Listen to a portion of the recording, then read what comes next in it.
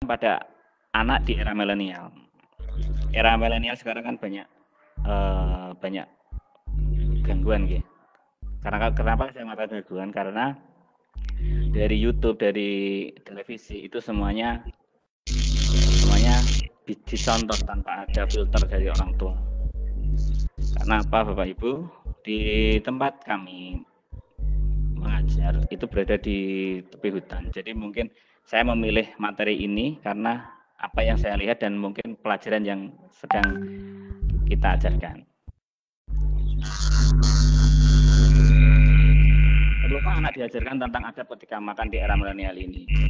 Kalau anak anak saya kira itu perlu sangat diajarkan adab ketika makan karena apa Bapak Ibu mungkin orang tua kalau kalau kita di sekolah biasa itu nggak ada namanya acara makan siang bersama atau apa. Beda dengan sekolah-sekolah yang terpadu-terpadu itu.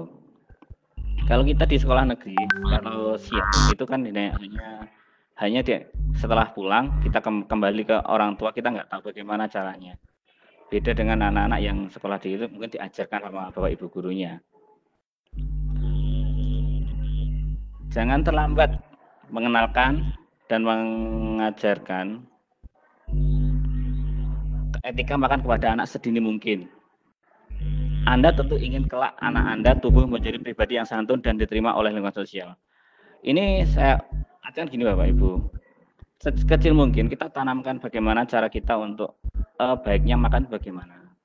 Kalau kita nggak kecil itu nggak diajarkan, mungkin sudah dewasa, sudah kadaluarsa, sudah terlambat untuk mengajarkan karena apa? Dia sudah berbaur dengan masyarakat itu nanti kelihatan jika ada sesuatu mungkin ada undangan atau apa nanti anak itu bisa keliru kan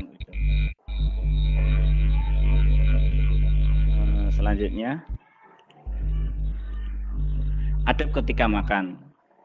Yang pertama adalah cara makan dan minum anak yang soleh.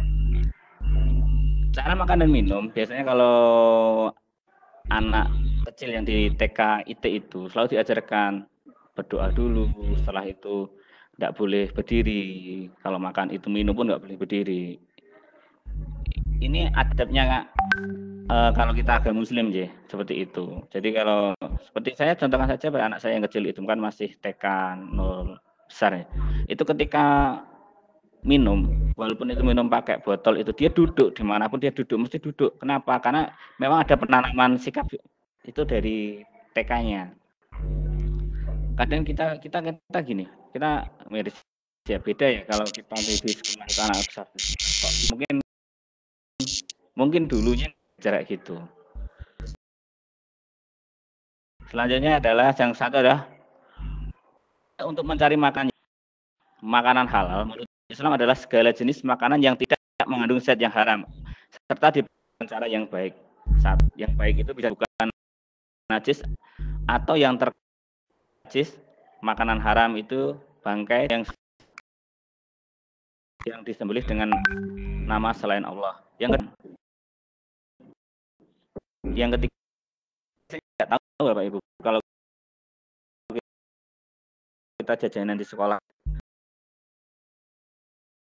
kita sering melihat yang sering viral itu jajanan di luar kita beli. Ya. Atau oh, bakso itu tidak nggak tahu dari ini apa. Begitu kan kan kita nggak tetapi kita nggak tahu. Kita kita kan ya, beli belinya. Kalau pemerintah uh, membeli jajan dari kantin sekolah oleh mas gitu, untuk mau baik atau tidak. Kedua itu yang kedua itu aman, bukan dan empat tidak menjijikan. Selanjutnya adalah yang kedua adalah hendaknya mencuci tangan sebelum itu sebaiknya menggunakan kita mengajarkan kalau di sekolah ada programnya kan cuci cuci tangan itu yang itu gunanya apa kita makan dan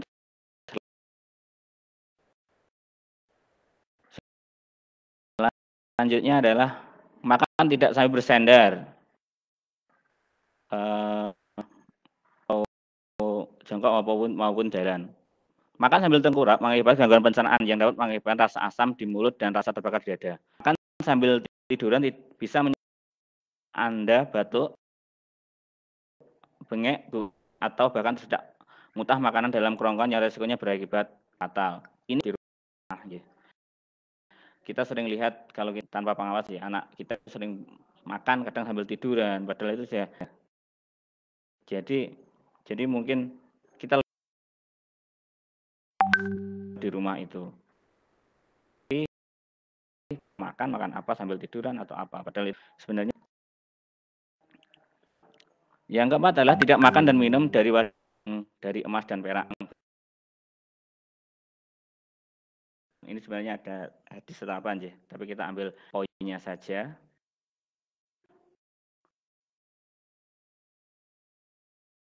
Selanjutnya adalah sebelum makan membaca bismillah dan so, doa sebelum mak makan. Yang keenam adalah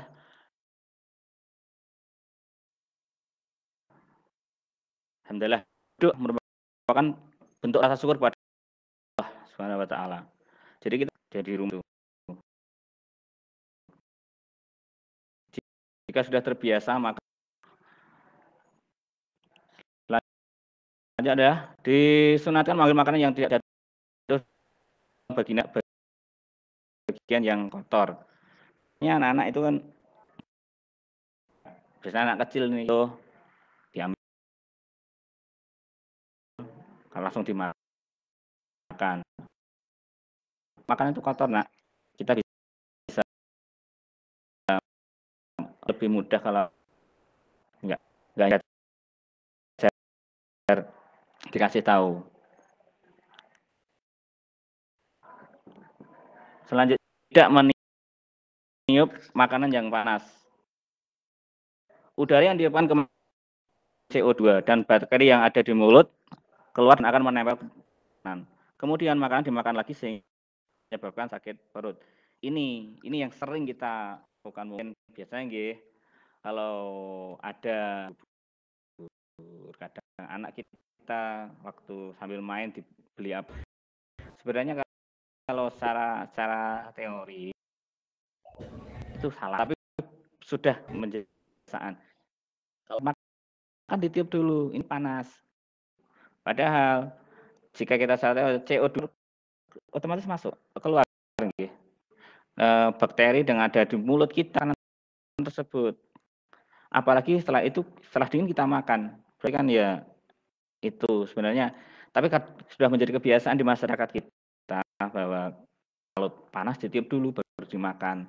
Sebenarnya yang baik gue agak dingin, dingin dulu.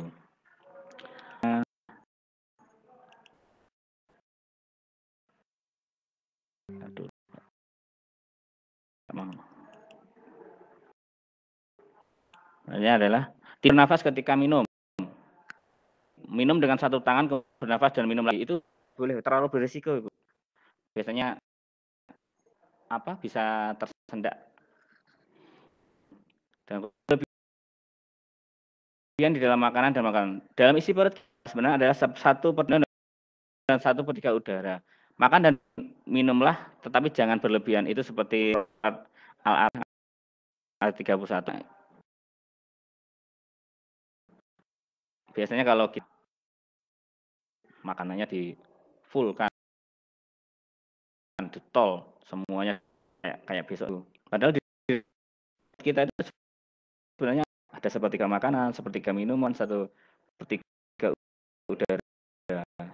Dan jika tempatnya makanan efeknya di lain jadi bisa terjadi. Makan dan minum seadanya dan tidak mencela makanan. Uh, anak itu makan apa yang ada di rumah. Dia akan menerima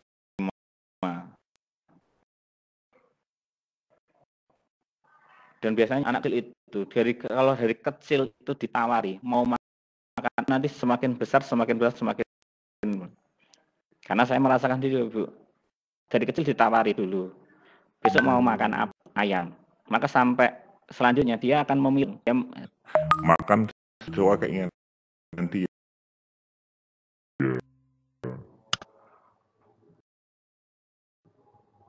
Jadi mungkin kalau sejak kecil kita akan menerima apa yang ada, mungkin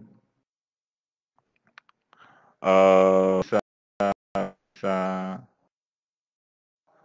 survive lah, bisa hidup ya. Andai kan dia pergi ke rumah uh, keluarga, ada acara. Jika di sana itu masakannya biasa biasa sayur apa sayur apa? Kalau anak dia nggak mau terus dia bilang mau apa makanan apa itu? Itu mencela. Yang malu kan uh,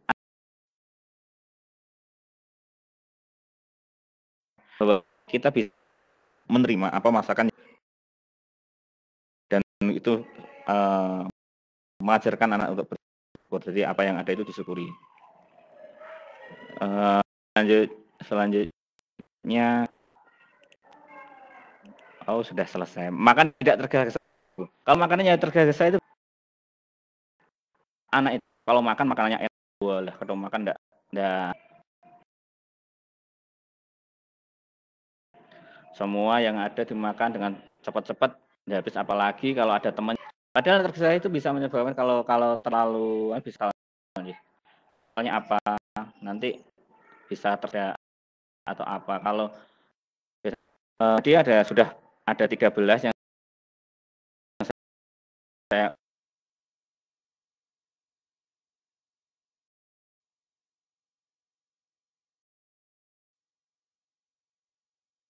tadi mohon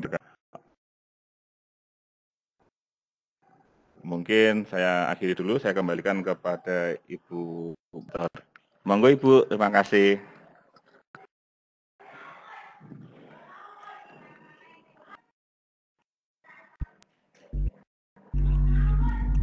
Halo Ibu.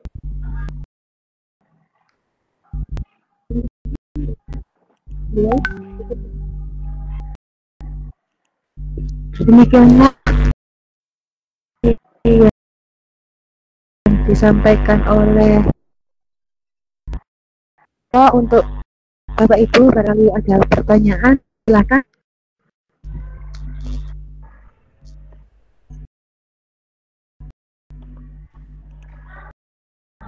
ada pertanyaan Kak dari